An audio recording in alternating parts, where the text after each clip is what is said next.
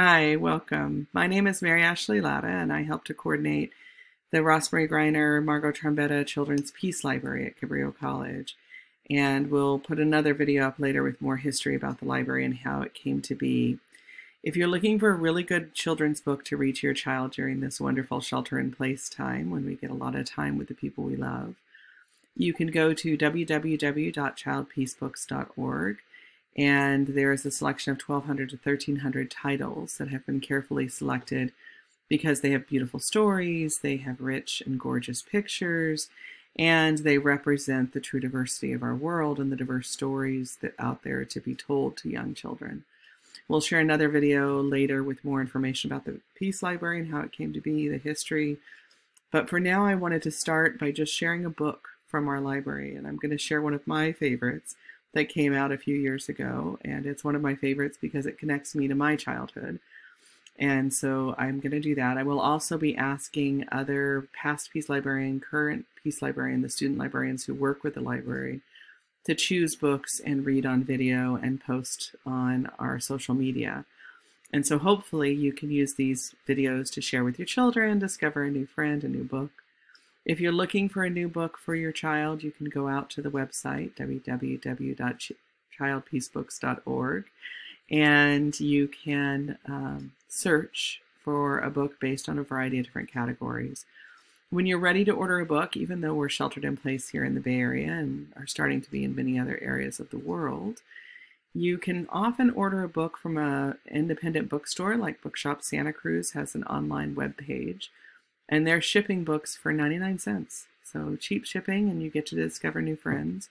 Please try and support local small businesses. They're hit particularly hard right now, during the COVID 19 shelter in place times. Um, stay healthy. Let me share with you my book that I'm going to share for today. It's I Like Old Clothes by Mary Ann Hoberman, illustrated by Patrice Barton. One of the reasons this is my favorite is I had a lot of hand-me-downs as a child, and it was fun to think about where did those clothes come from. So we'll read this together.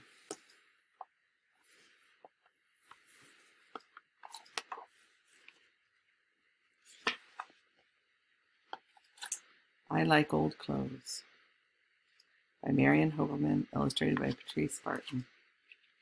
There's a great picture over here for the children who are watching.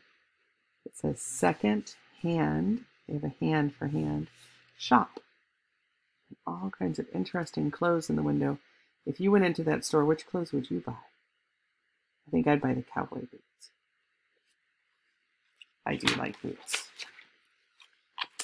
For my granddaughter, Dorothy, and Kit, who really like old clothes.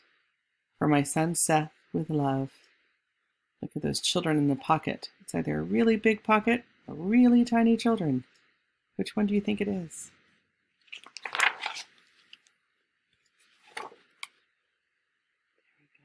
There's lots of clothes on the clothing line. All those clothes. Which one would you want to wear if you could wear one? I like old clothes, hand-me-down clothes, worn outgrown clothes, not my own clothes. Which one would you wear? Would you make a puppet out of the sock? What would you wear?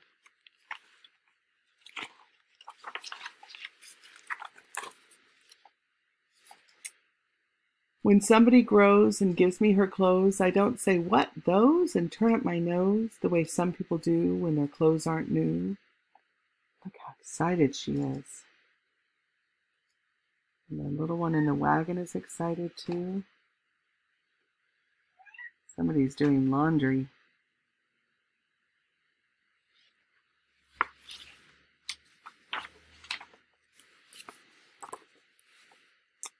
I like old clothes. I really do. Ooh, I wonder who that belonged to last.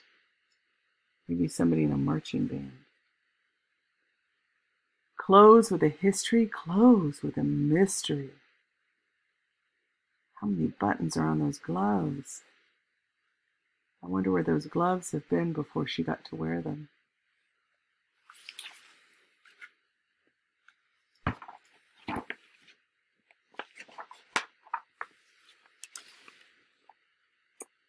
Sweaters and shirts that are brother and sistery. how big that sweater is on him. Now she's going to put the sweater on. Look how small the sweater is. Big on one and small on the other. You see the cat in each of the pictures? You can hear my cat in the background. He likes when I read books about cats. Clothes that belonged to a friend of a friend who wore them to school when she lived in East Bend. You lived in East Bend once, Blue Sweater, I say. Just think you're living in my town today.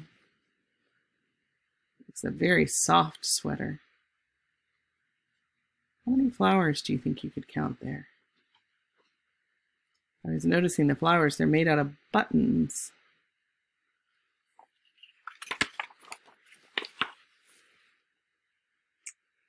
I like old clothes, everyday clothes, once for good clothes, now for play clothes. Well, that's something fun you could do at home. You could make a hopscotch board outside your house with chalk. You could do it in your driveway or your backyard.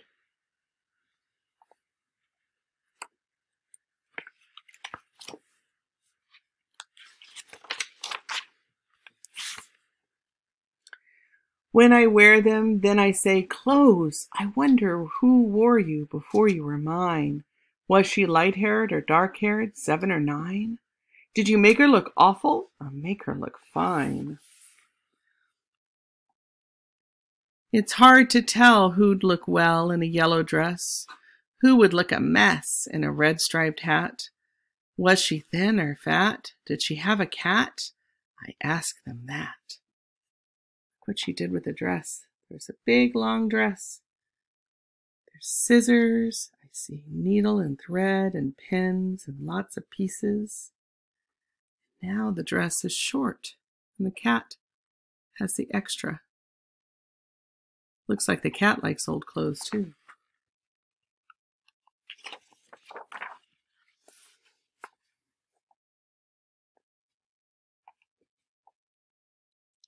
I like old clothes, cozy warm clothes, broken in clothes.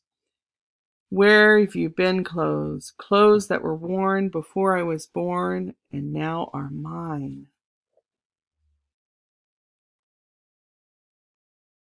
They made sock puppets. We were talking about that in the beginning. Take old socks, draw on them, and put on a puppet show. It's a good shelter in place activity. Skirts with the line of a let down hem. I like them. And party dresses, not quite new, not quite in style. I like them too. Lots of clothes in that closet.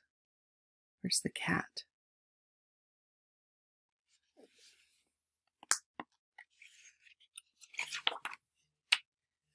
I like to wonder where they've been what games they've played, and if they won, and if the parties turned out fun. She's got a party dress on. Did you see the puppet taking a cookie? She's imagining where that dress has been before her. What happened at that party? Maybe they had a pinata? Maybe they did dancing? I wonder.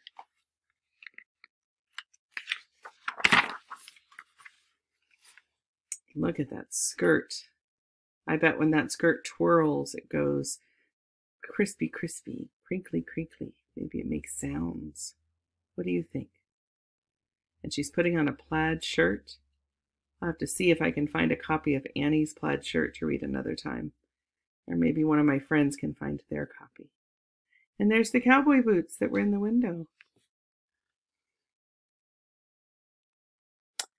I like old clothes, faded old clothes, not so new clothes. Where were you clothes? I wonder what the cat sees outside the window.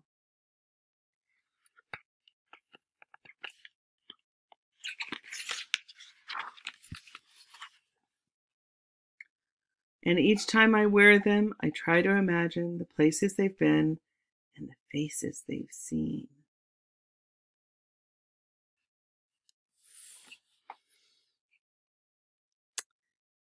And which whose clothes they'll be when they're finished with me. Somebody had them before her this family. Somebody else will have them next. And that's the end. So if you like this book again, it's I Like Old Clothes by Mary Ann Hoberman, illustrated by Patrice Barton.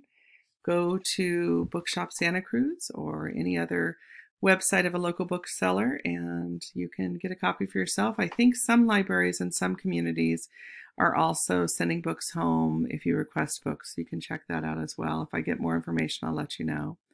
Have a lovely day and make sure to take care of the people you're sheltering in place with and stay healthy. Find moments of joy.